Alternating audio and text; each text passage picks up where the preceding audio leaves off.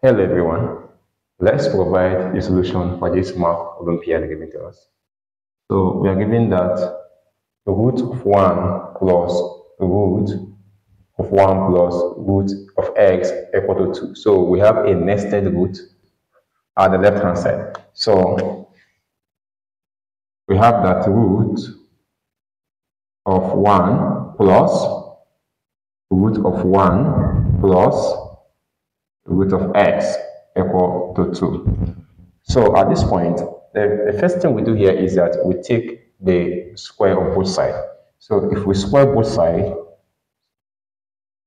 this square here, we cancel out this root here. So we have 1 plus root 1 plus root x equal to 4.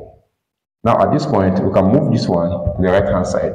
So we have that root 1 plus root x is equal to 4 minus 1, which is equal to 3. So at this point, we have root 1 plus root x is equal to 3. Now again, we can square both sides. So if we square both sides, the square here, we cancel out the root here. So we left with 1 plus root x is equal to 9. Now I can move this one again to the right hand side. So I have root x is equal to 9 minus 1, which is equal to 8. So we have that root x is equal to 8. Also, at this point, to obtain x, we square both sides.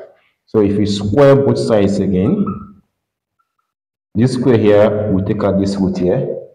So we have that x is equal to 64.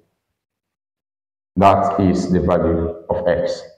Thank you so much for watching. And if you know you found the video helpful, please like this video and follow our page. Thank you so much. Bye.